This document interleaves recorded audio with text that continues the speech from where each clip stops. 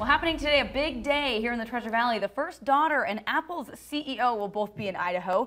Ivanka Trump and Tim Cook are scheduled to visit the Wilder School District today. CBS 2's Lauren Clark is live out in Wilder for us this morning to tell us more about the purpose of this high-profile visit.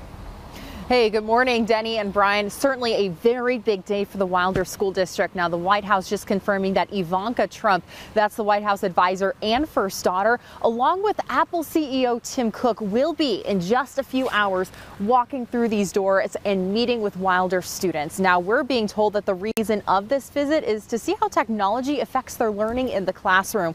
Uh, now, this video we have up right here uh, gives you an idea of when we actually were here at the Wilder School District, what students get to do on a day-to-day -day basis.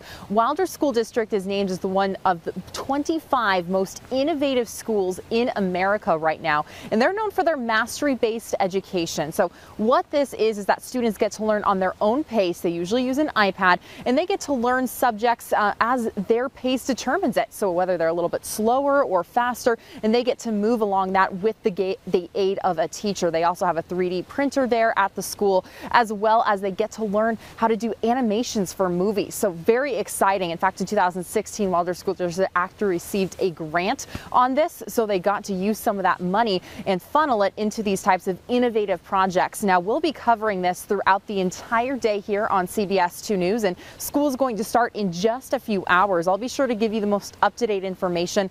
I'll also be tweeting out what I'm seeing during real time. If you want to see that, follow me. My Twitter is Lauren KBOI. Reporting live here in Wilder, Lauren Clark, CBS 2 News. Well, as Lauren mentioned, our crews are going to be out there all day this morning into the afternoon covering this visit. We're hearing that it's a closed event, uh, but again, we'll be bringing you updates on air and online as well. Check out our KBOI2 Facebook page and idahonews.com for more.